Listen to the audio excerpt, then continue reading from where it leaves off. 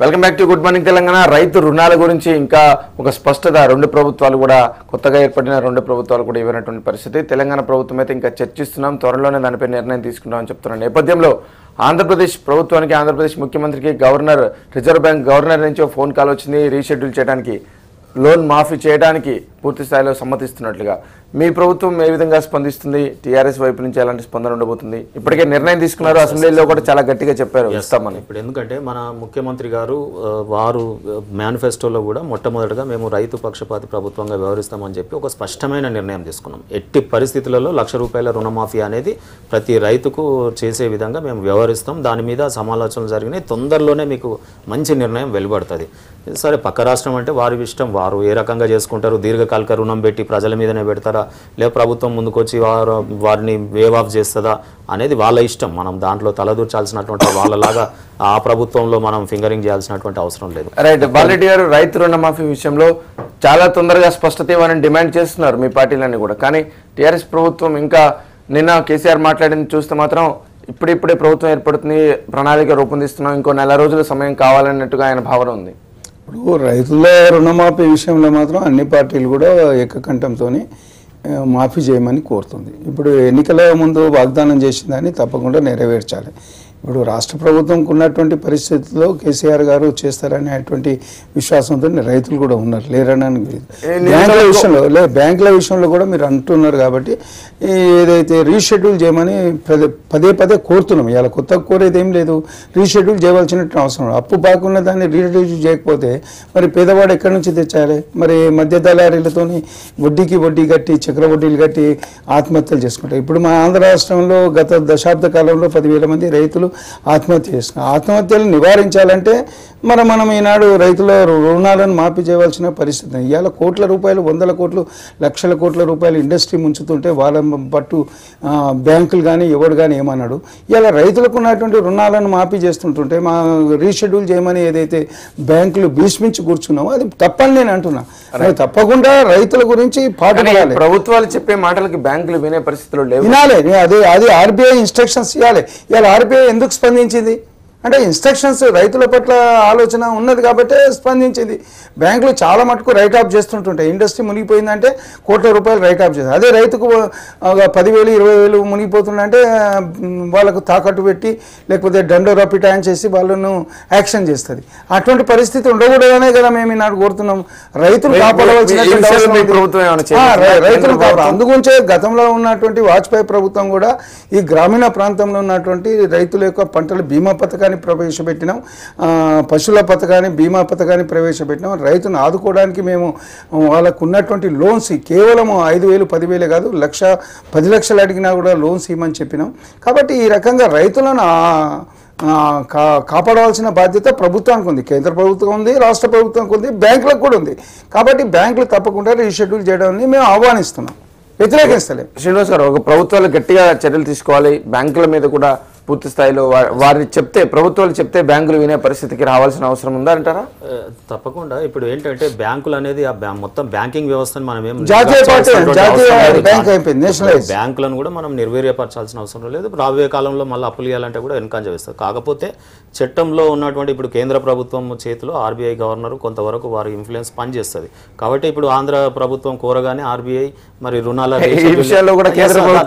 తప్పకుండా- కొంతవరకు ఇన్ఫ్లుయెన్స్. ఎందుకంటే Influence సిబిఐ అయినా ఇండిపెండెంట్ సంస్థ అంటాం కానీ కేంద్ర ప్రభుత్వం చేతిలో ఉంది. వాళ్ళు కూడా గతంలో విమర్శించారు. ఆ రకంగా ఆర్బీఐ అయినా ఇంకేదైనా ఈ దేశంలో వారు పరిపాలిస్తున్నారు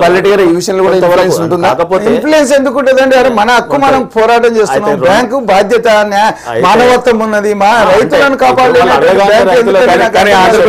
నేషనలైజ్ అయినాయా లేదా బ్యాంకు సొత్తు కాదు. బ్యాంకులకు ఇండిపెండెంట్ ఉంది. ఆర్బీఐ ఉన్నది. ఆర్బీఐ రిక్వెస్ట్ చేస్తాం. తల చేయగానే మోడీ గారు అనేది పద్ధతి ఏదైతుందో అది తప్పు అని నేను. మోడీ గారు ఇస్తున్నారు. చంద్రబాబు నాయుడు డిమాండ్ చేయడం వల్ల. కేంద్ర ప్రభుత్వం యొక్క రిమోట్ ఆంధ్రప్రదేశ్లో ఉన్నటువంటి చంద్రబాబు నాయుడు వెంకయ్య నాయుడు చేతిలో ఉంది. రిమోట్గా విమర్శించే వాళ్ళు విమర్శిస్తారండి. రెండోది- రెండోది- అది అసలు- నేను ఏమంటున్నాను అన్ని విషయాలు ఈ ఒక్క విషయం అంటలేను నేను. అన్ని విషయాలలో కూడా ఈరోజు మన ఆంధ్రప్రదేశ్ ప్రభుత్వం యొక్క వ్యవహార శైలి ఏ రకంగా ఉందంటే నేను ఒకటి చెప్తాను.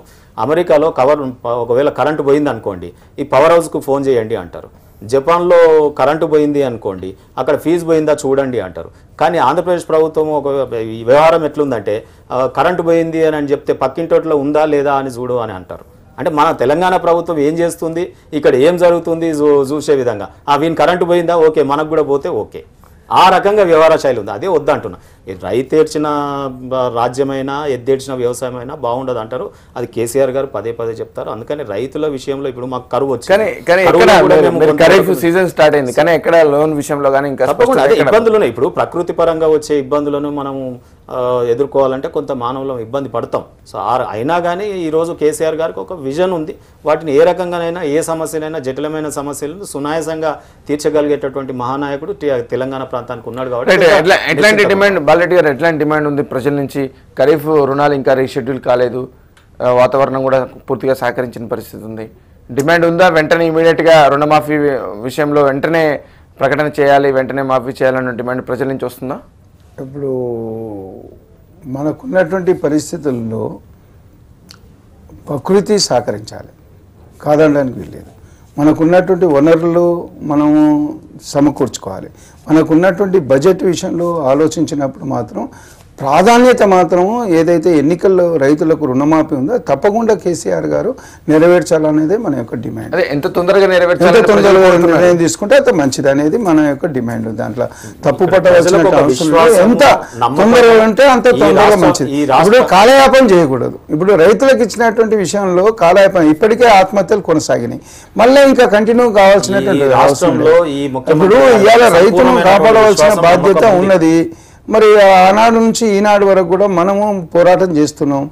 రు- రుణమాఫీ అని మనం ఎన్నికల్లో చెప్పినప్పుడు రుణమాఫీ చేయాలి. ఎన్ని కష్టాలు వచ్చినా ఎన్ని ఇబ్బందులు వచ్చినా రుణమాఫీ చేయమని తక్షణమే నిర్ణయం తీసుకోమని చెప్తున్నాం. సాధ్యమైన తొందరగా నిర్ణయం తీసుకోవాలనే అంశం ఉంది. ఒక చిన్న స్వామినాథన్ ఏదైతే రిపోర్ట్ ఉందో ఆ స్వామినాథన్ ఇచ్చినటువంటి రిపోర్ట్ను అమలు పరుస్తే రైతును కాపాడగలుగుతాం. రైట్ మరొక చిన్న అంశం తీసుకుని ఈరోజు చర్చను ముగిద్దాం. గవర్నర్కి గండం అంటూ క్వశ్చన్ మార్క్తో కొన్ని వార్తలు కనిపిస్తున్నాయి. సిబిఐ ప్రశ్నించబోతుంది. అంటే రాజ్యాంగ వ్యవస్థలో ఉన్నటువంటి వ్యక్తిని సిబిఐ ప్రశ్నిస్తున్నప్పుడు ముందే రాజీనామా చేయాల్సి ఉంటుందా? మిగతా ఇద్దరు గవర్నర్లు చేసినట్టుగా కనిపిస్తుంది బాలరెడ్డి గారు. ఇప్పుడు రాజ్యాంగ పరంగా మాత్రం చూసినట్టయితే సిబిఐ ప్రశ్నించబోతున్న సందర్భంలో నైతిక విలువలకు బాధ్యత వహించవలసింది నరసింహన్ గారే గవర్నర్ గారు. మేము కాదు చెప్పేది.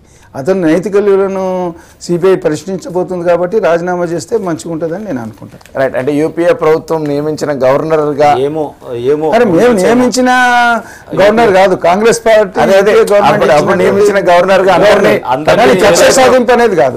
నైతిక విలువలు అంటే ఏమంటారు శ్రీనివాస్ ఆయన గారు? స్వతహాగా నిర్ణయం. తీసుకోవచ్చు. ఎందుకంటే మనం చూస్తా ఉన్నాం అందరు గవర్నర్లను కానీ అన్ని నామినేటెడ్ పోస్టులను కానీ తీసేసే విధంగా ఎన్డీఏ వ్యవహరిస్తుంది కాబట్టి సమయానుకూలంగా సిబిఐని గతంలో కాంగ్రెస్ వాడుకుంది వాడుకుంది వాడుకోవచ్చు. అనే విధంగా వాళ్ళు వ్యవహరించినారు కాబట్టి అయితే అయి ఉండొచ్చు కాక. ఎందుకంటే ఈ మధ్య కాలంలో నరసింహన్ గారు కూడా పెద్ద మనిషిలాగా వ్యవహరిస్తా ఉన్నారు.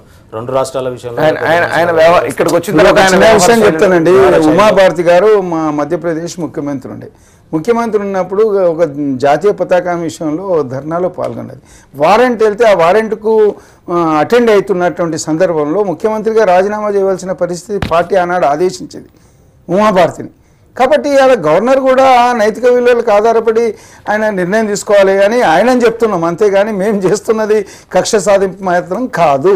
రైట్ శ్రీనివాస్ గారు ఇప్పుడు ఏమంటారంటే సడన్గా కొన్ని విషయాలు తెర మీదకి వచ్చినప్పుడు కొన్ని విషయాలు మరుగున పడినటువంటి విషయాలు కొన్ని సడన్గా తెర మీదకి వచ్చినప్పుడు అటువంటి అపోహలు రావడం సహజం. కాకపోతే లా విల్ టేక్ కొన్ని అంశాలు ముందుకు రావడం పట్ల అనుమానాలు వ్యక్తం చేస్తున్నారు. వారి సమయానుకూలంగా.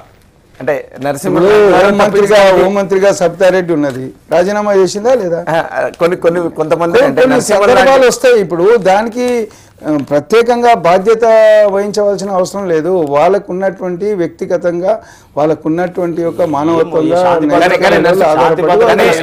రాజకీయ పరంగా ఎవరైతే కాంగ్రెస్ పార్టీ గవర్నర్లు ఉన్నారో వారిని తప్పించే ప్రయత్నం ఆయనంత చేశారు. రాష్ట్రపతి రాష్ట్రపతి కోరుతాడు. గవర్నర్ ఉంచాలనా ఉంచొద్దా? ప్రధానమంత్రి కాదు. రాజకీయ పార్టీతో రాష్ట్రపతి కోరుతాడు. ఉంచాలనా నేను? అడిగేది ఏంటంటే రాజకీయ పార్టీల సంబంధం ఉన్న వారిని ఎట్లాగో తొలగించేశారు. వాటిని ఆ బహిరంగంగానే చెప్పారు. రాజీనామా చేయాలని. రాజకీయాలతో సంబంధం లేని ఇలాంటి వ్యక్తులు రాజీనామాకి ఇలాంటి అస్త్రాలు ఏమైనా ఉపయోగిస్తున్నారు అన్నటువంటి అనుమానాలు భయభ్రాంతులు అవసరం లేదు. అటువంటి ఆస్కారం రాదు.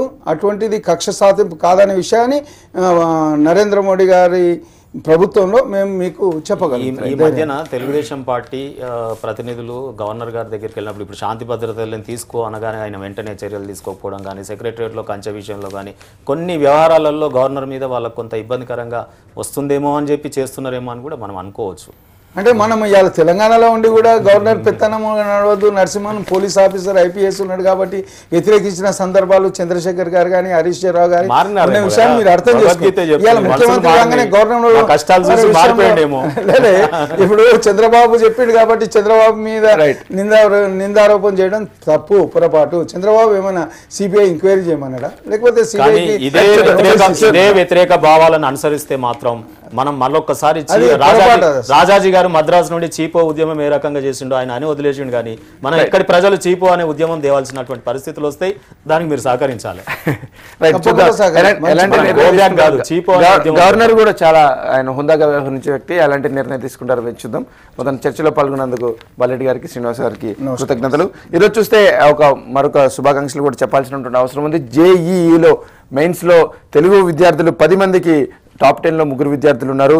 శ్రీలేఖ బీటెక్ రెండో ర్యాంక్ సాధిస్తే సింధుజ బీటెక్లో ఏడవ ర్యాంక్ సాధించారు. వీర వీరిద్దరు కూడా టీవీ నైన్ తరపున శుభాకాంక్షలు తెలియజేస్తున్నాం. ఇది ఈరోజు గుడ్ మార్నింగ్ తెలంగాణ కార్యక్రమం. రేపటి కార్యక్రమంలో మళ్ళీ కలుద్దాం. చూస్తూనే ఉండండి. TV one. ధన్యవాదాలు.